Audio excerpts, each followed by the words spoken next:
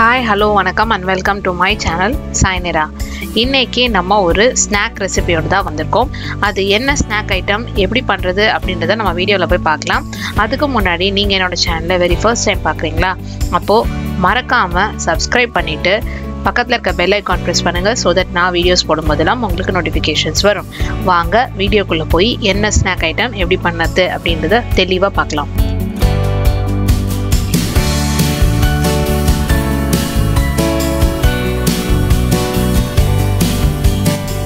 இன்னைக்கு நம்ம பார்க்க போகிற ஸ்நாக் ஐட்டம் அவல் கார்ன் பப்ஸ் பேரே வித்தியாசமாக இருக்குல்ல?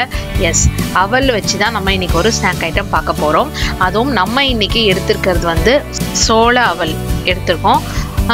இது வந்து உங்களுக்கு கிடைக்கல அப்படின்னாக்கா ஒன்றும் ப்ராப்ளம் இல்லை. நீங்கள் வந்து சாதா அவல் கூட வச்சு நீங்கள் இதை செய்யலாம். இப்போது சோள அவலோ இல்லைனா வீட் அவலோ இதெல்லாம் வச்சு நீங்கள் செய்கிறீங்க அப்படின்னாக்கா இந்த மாதிரி ஒரு கப் அளவுக்கு அவல் எடுத்து அதை நல்லா சுடு தண்ணியில் ஒரு டென் டு ஃபிஃப்டீன் மினிட்ஸ் நீங்கள் ஊற வச்சுட்டு பிழிஞ்சு எடுத்துக்கிட்டீங்க அப்படின்னாக்கா இந்த மாதிரி உங்களுக்கு மசிச்சா மாதிரி நல்லா சூப்பராக குக்காகி கிடச்சிடும் நமக்கு. இப்போது நம்ம இந்த அவலில் வந்து என்னென்ன ஆட் பண்ணலாம் அப்படின்றத நம்ம பார்க்கலாம்.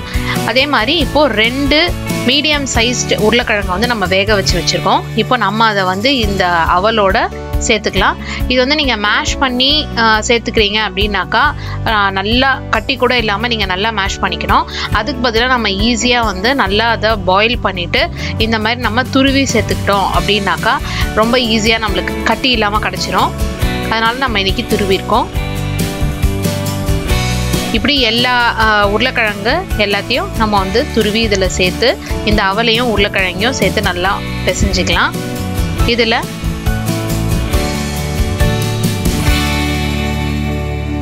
உப்பு தேவையான அளவு ஆட் பண்ணிக்கோங்க. நம்ம இன்னைக்கு வந்து ஒரு ஸ்பூன் அளவுக்கு உப்பு ஆட் பண்ணியிருக்கோம் அடுத்ததாக சில்லி பவுடர் ஆட் பண்ணியிருக்கோம் ஒரு டீஸ்பூன் அளவுக்கு மிளகாய் பொடி ஒரு டீஸ்பூன் அளவுக்கு சில்லி ஃப்ளெக்ஸ் ஆட் பண்ணியிருக்கோம். இது வந்து கொஞ்சம் என்ரிச்சாக டேஸ்ட் கொடுக்கும். அதனால் நம்ம அதை ஆட் பண்ணியிருக்கோம். அப்புறம் ஒரு டேபிள் ஸ்பூன் அளவுக்கு நம்ம தேங்காய் துருவல் ஆட் பண்ணியிருக்கோம்.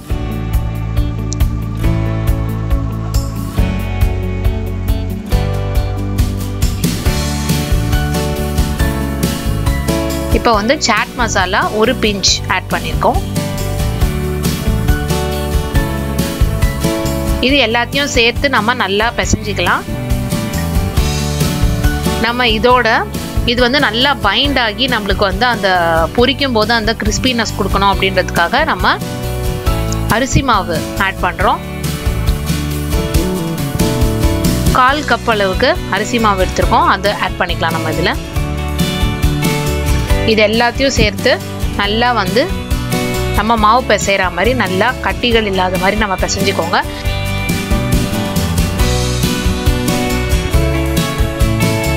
இதில் வந்து தேங்காவை வந்து அரைச்சி போடாமல் இந்த மாதிரி துருவி போட்டோம் அப்படின்னாக்கா அது வந்து நம்ம சாப்பிடும்போது அந்த தேங்காவோட பீசஸ் வந்து நம்மளுக்கு வாயில் மாட்டும் போது ரொம்ப ரொம்ப சூப்பராக இருக்கும். இப்போது நம்ம நல்லா பிசைஞ்சிக்கிட்டோம் இதை. இதை வந்து நம்ம ஷேப்ஸ் இப்போது பிடிக்க போகிறோம் இதில் என்ன பண்ணுங்கள் கையில் வந்து லைட்டாக ஒட்டுற மாதிரி இருந்தது அப்படின்னாக்கா நீங்கள் எண்ணெய் நல்லா தடவிக்கிட்டு இந்த மாதிரி சின்ன சின்ன பால்ஸாக நீங்கள் எடுத்து அதான் உங்களுக்கு டிசையர் ஷேப்பில் நீங்கள் பண்ணிக்கலாம். ரவுண்டாக பண்ணாலும் சரி. இன்றைக்கி நம்ம வந்து சிலிண்ட்ரிக்கல் ஷேப்பில் நம்ம பண்ணியிருக்கோம். நீங்கள் வந்து எந்த ஷேப் வேணுமோ அந்த ஷேப் பண்ணிக்கோங்க.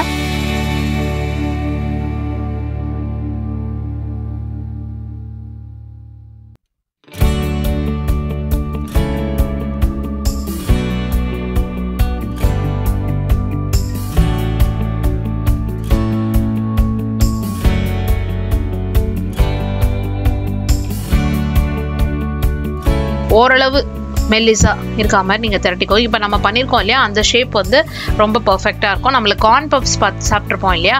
அந்த கார்ன் பப்ஸ் வந்து என்ன ஷேப்பில் இருக்கோ அந்த ஷேப்பில் தான் நம்ம இதை பண்ண போகிறோம்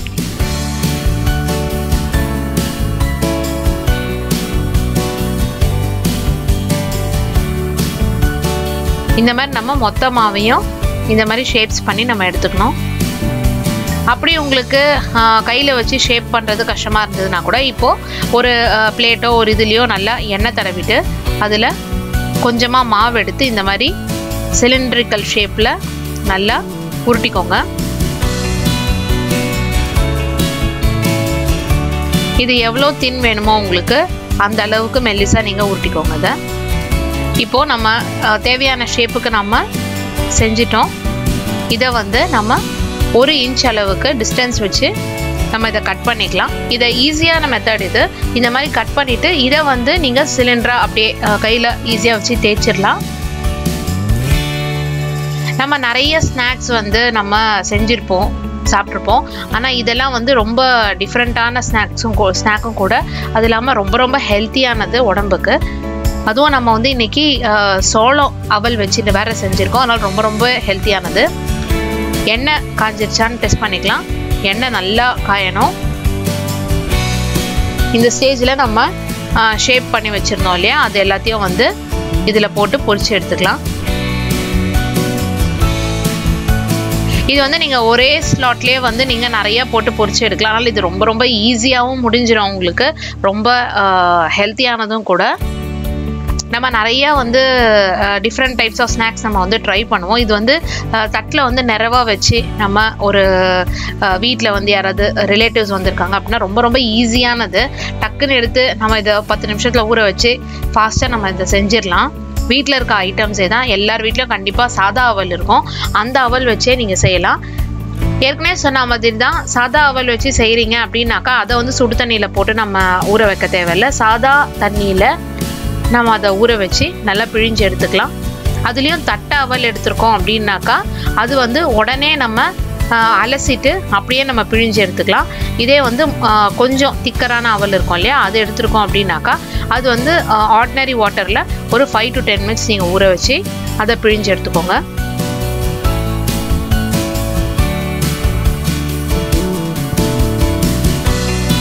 இப்போ இது நல்லா வந்து கோல்டன் ப்ரௌன் கலராக மாறுற அளவுக்கு திருப்பி போட்டு வறுத்துக்கலாம்.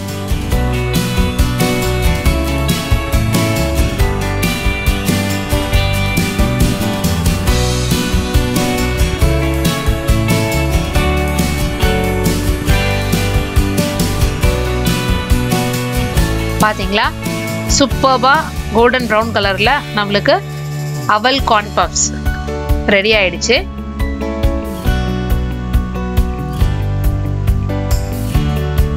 இது குழந்தைகளும் சரி ஈவன் டயபிட்டிஸ் பேஷண்ட்லேருந்து எல்லாருமே வந்து கண்டிப்பாக இதை நிறைய நல்லாவே சாப்பிடலாம்.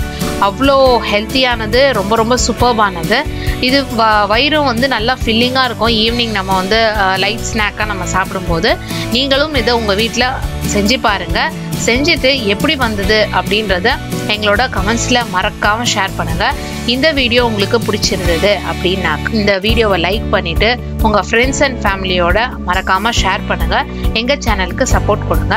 மீண்டும் ஒரு நல்ல வீடியோவோடு சந்திக்கிறேன். நன்றி வணக்கம். Thank you so much for வாட்சிங் Bye bye.